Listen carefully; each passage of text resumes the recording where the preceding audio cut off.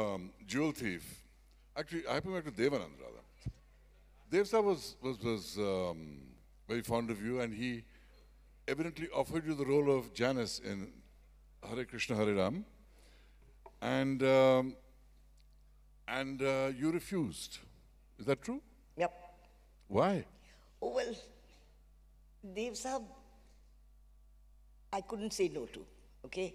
But you did. But yeah, because I had made up my mind at that time that I would not do second lead. Ah, And Mumtaz was the heroine of the film. right. And just out of matter of principle, I said no. But uh, so he came home.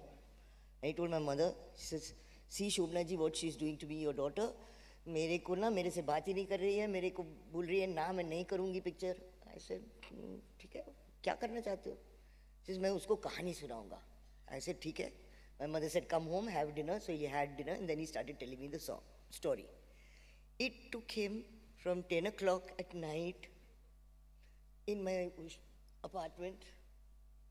He went round and round and round till 2 o'clock in the morning, chewing my brains. After he told me the story in one and a half hours, for that next half an hour, he went on and I said, You know, I love the story. I think it's a fabulous role. And I know just the person that who can do this for you. And I just met Zeenat. And she was just coming up, I think, Right, at a rehearsal, dance rehearsal. At Tree Sound Studios again, we used to do rehearsals over there. Right. And uh, she and I were talking, and her mother and I were talking actually. So I said, I saw, and you know, she had that sultry look which the character in Hari Ram Hari Krishna Right. had to have. I mean, I, I don't know whether I could look sultry or not, but I didn't think that I could, frankly.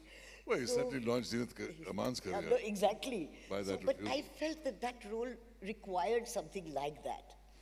And Right. Like a wild child kind of thing. So that's how it happened. Now, coming to